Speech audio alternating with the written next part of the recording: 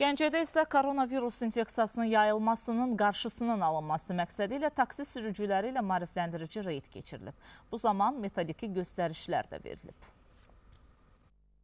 Yoldaş sürücü metodiki göstərişin tələblərinə uyğun olaraq sərnişinlər əsasən arxa oturacaqdan istifadə etməlidirlər. Yalnız zərurət yarandığı halda sizin yanınızdakı oturacaqlardan istifadə edə bilərlər.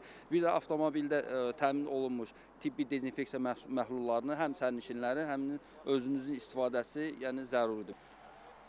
Gəncədə avtomobil nəqliyyatı ilə sərnişin daşıma idarəsinin əməkdaşları COVID-19 infeksiyası ilə əlaqədar olaraq şəhərin mərkəzi hissəsində taksi fəaliyyəti ilə məşğul olan sürücülərə qarşı reyd aparıb.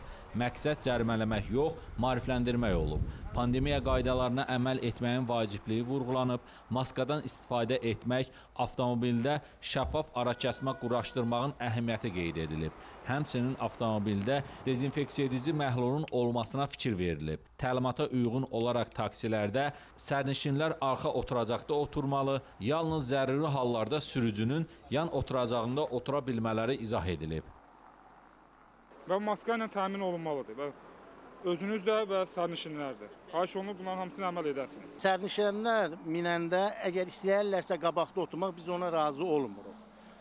Arxada otururlar.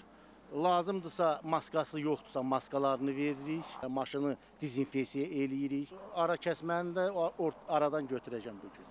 Səhər-səhər çıxıram, ara kəsməm var, yəni dezinfeksiya eləyirəm maşını. Yəni, maska da var, hər şeyimiz də var. Maarifləndirici reys zamanı sərnişinlərə münasibətdə nizam-intizam qaydalarına əməl etmək, avtomobillərin mütəmadi olaraq dezinfeksiya edilməsi də vacib şərt olaraq vurğulanıb. Taksi miniş avtomobilləri gündəlik olaraq dezinfeksiya edilir.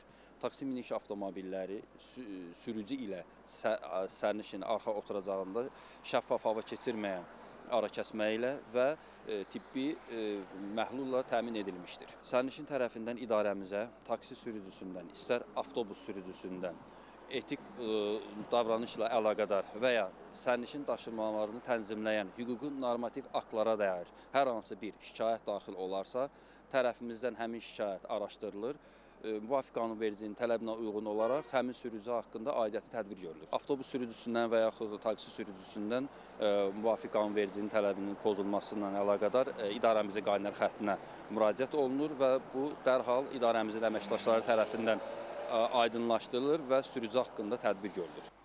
Reys zamanı taksi sürücülərinə Gəncə Avtomobil Nəqliyyatı ilə Sərnişin Daşıma İdarəsinin əməkdaşları tərəfindən tibbi maskalar da paylanıb. Ümumilikdə Gəncədə minə yaxın şəxs taksi fəaliyyəti ilə rəsmən məşğul olur. Elnur Vahidoğlu, Seymur Əlizadə, Gəncə.